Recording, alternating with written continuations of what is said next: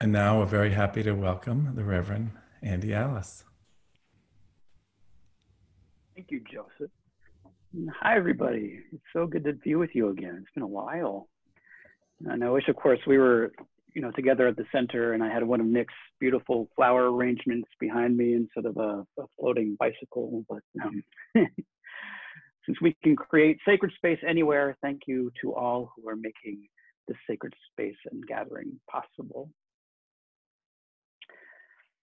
I appreciate being able to share with you some thoughts about this month's topic of forgiveness. and it's always an important topic in practice.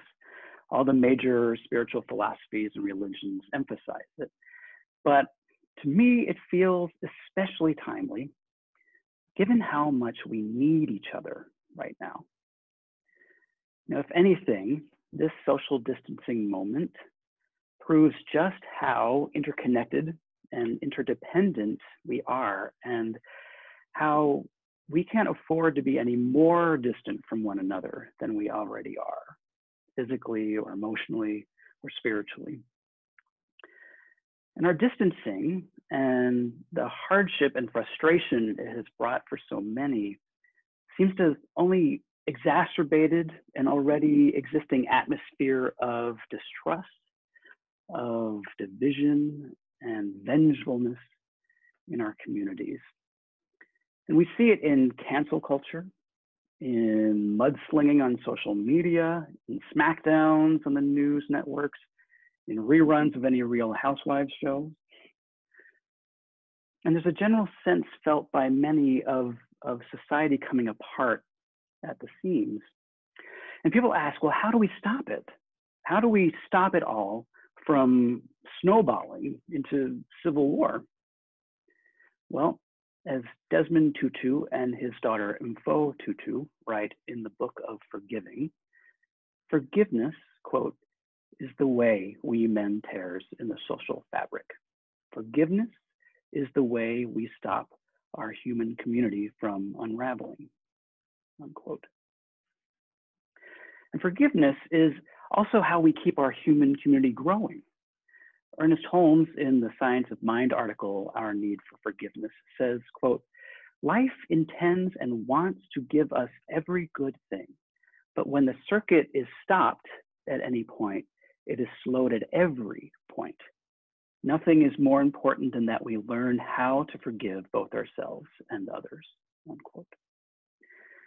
So forgiveness is what can heal the other social distancing, our emotional and spiritual wounds, and reopen our stopped circuits to allow spirit and love to flow in our lives and relationships with the abundance it attends. We all get hurt. And we all hurt one another, and we will continue to do so as long as we live. And each time we get hurt, we'll have the choice to seek revenge or to forgive. Revenge, the proverbial eye for an eye, may seem satisfying in the heat of the moment, but it really just wounds everyone involved and continues the cycle of hurt and pain. But forgiveness breaks that cycle. And if we're going to truly affirm the manifestation of the kingdom of heaven here and now, and the expression of the highest spiritual principle in loving one another unconditionally. And if we're going to sing, let there be peace on earth and let it begin with me, then forgiveness is our best choice. And not that it's easy. In many cases, especially of the worst human cruelty, it can seem impossible. But with God, with loving intention, all things are possible. One extraordinary example of this is in a prayer found on a piece of paper near the body of a dead child in World War II's Ravensbrück concentration camp. And it reads Lord, remember not only the men and women of goodwill, but also those of evil will. But remember not all the suffering they have inflicted upon us. Remember the fruits we have borne thanks to this suffering our comradeship, our loyalty, our humility, our courage, our generosity, the greatness of heart which has grown out of all this. And when they come to the judgment, let all the fruits that we have borne be their forgiveness. Every time I read that, I'm, I'm just floored. The Reverend Dr. Martin Luther King Jr. wrote in his sermon, Love in Action Forgiveness is not an occasional act, it is a permanent attitude. Forgiveness is not an occasional act, it is a permanent attitude. And I can't imagine the forgiveness in that prayer was an occasional act for its author. To be able to offer such grace, they must have come to that prayer already with a cultivated and consistently practiced open heartedness, showing that forgiveness is not just reactive, forgiveness as a permanent attitude is also proactive. So, how do we work to live in a permanent and proactive attitude of forgiveness? How do we approach ourselves, each other, and life in a living state of compassion and grace so that we're always primed to choose forgiveness over revenge? One thing to do is to remember that, as the Tutus also say in the Book of Forgiving, quote, our nature is goodness. Yes, we do much that is bad, but our essential nature is good. If it were not, then we would not be shocked and dismayed when we harm one another. When someone does something ghastly, it makes the news because it is the exception to the rule. We live surrounded by so much love, kindness, and trust that we forget it is remarkable. Unquote. Everyone's nature is goodness. Everyone's nature is goodness. Those who hurt us, those we hurt, and we ourselves, goodness. So, what happens to it? Hold on to that question. Reverend Diane Berke, founder and spiritual director of One Spirit Interfaith Seminary, says that forgiveness, quote, is the decision to open ourselves to seeing the other with a deeper vision, a deeper insight, a vision that sees beyond the personality, the behavior, the act of insensitivity, harshness, even cruelty, to the spiritual being, the child of God, who has forgotten who they are and has acted out of that forgetfulness. Unquote.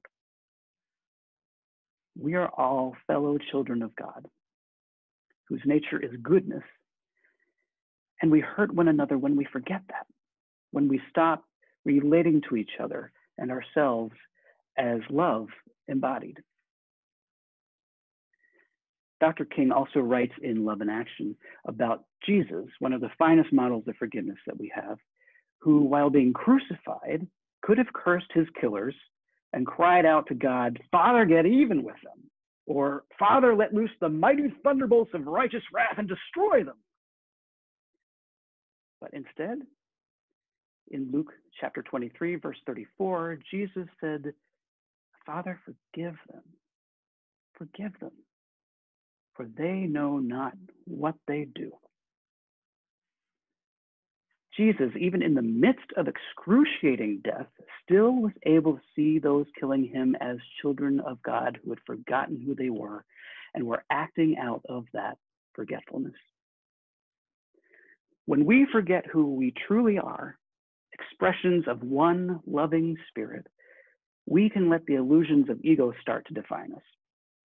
And then we can start seeing through an othering lens of right and wrong, good and bad, winners and losers, allies and enemies, and all the ways that appear to separate us instead of unite us, which then can make us insecure and afraid. The spiritual program, A Course in Miracles, says Reverend Berke, quote, teaches that anything anyone does that is not loving is always an expression of fear, of fear. A cry for love, a call for acknowledgement, respect, help, and love, no matter what form it takes. Forgiveness, then, is a choice we make to hear the call for love, to recognize the cry for help behind the appearance of the unloving. Unquote. So, can you think of a time in your life when you've been hurt? And are you able to see, looking through your soul's eyes, those who hurt you as fellow children of God, as love embodied, who forgot that about themselves, or maybe was never even loved well enough to know that, and hurt you out of an expression of their own fear?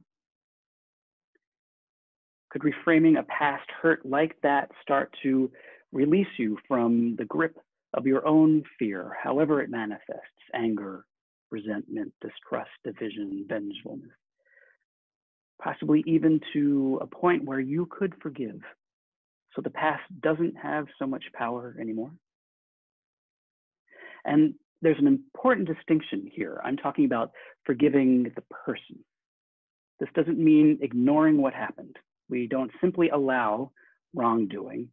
Because harmful action and its results absolutely need to be addressed, especially because harmful action hurts both the victim and the perpetrator. It's the person for whom you can choose to release your anger or hatred. Separating negative action from the actor can help to cultivate a permanent attitude of forgiveness. And notice how the author of the prayer I read prayed for men and women of good will and evil will, not for good or evil men and women. Something I try to do to stay in that headspace is to catch myself when I'm labeling someone in the negative, like, uh, is such an idiot. I take a breath and I rephrase it as, that was such an idiotic thing he did. And that helps me to not keep that person at such a distance as an other, but to keep them closer as a fellow brother or sister in spirit who, who like me, like all of us, can do both idiotic things and thoughtful things. It helps me to relate to that person as how I'd like to be related to, as a, as a whole human being capable of growth and change, and not defined and imprisoned by a particular action or trait. So, in addition to opening ourselves to seeing the fellow spirits of those who hurt us, is it possible, and it may not be yet or ever, but is it possible for you to see from a hurtful action, past hurtful action or event itself, as the author of the prayer describes, any fruits you may have borne thanks to your suffering? And not instead of the suffering. We don't want to minimize it or deny it, and not in the suffering as if it was meant to happen for some cruel lesson, but to also see any fruits, perhaps any growth that may have come of it.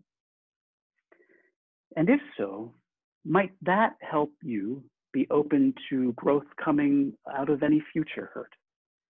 So then, if it happens, you may be able to forgive those who hurt you more easily. I know these are not simple questions and not simple answers. Consider this abridged affirmation by Ernest Holmes from the book How to Change Your Life. In the peace of God, I feel the love of a holy presence.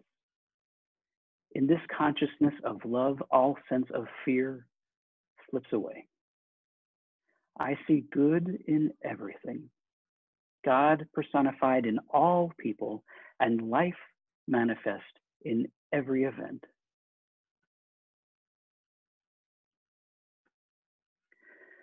So, in closing, I said at the beginning how timely I feel our topic of forgiveness is. And in fact, this coming week may well give us ample opportunity to exercise our permanent attitudes of forgiveness, to see good in everything God in all people and life manifest in every event. Of course, I'm talking about the election. And however it turns out, there are going to be people who are delighted and people who are distressed. And those delighted may feel a sense of righteous vindication and may feel tempted to express that. Those distressed may feel shocked, suspicious, afraid, and may even act out of their fear. So I invite all of us, and I know this may be a really hard thing to do, especially for myself, to approach the election with an attitude of forgiveness. So that no matter how we feel about the results, we will work to see those who voted the same as us and differently from us, and those who we voted for and not, as fellow children of God. To relate to everyone with compassion and curiosity and creativity, and to trust that good and growth can come out of it, even if that seems impossible. Living from a permanent attitude of forgiveness is how we can start this coming week and always to break any potential cycles of revenge, to heal our hurts, our divisions, and to allow our essential goodness and love to flow freely and abundantly so that we and our community and our world can grow into the fullness of life that Spirit intends for us all. Thanks for listening, and may it be so.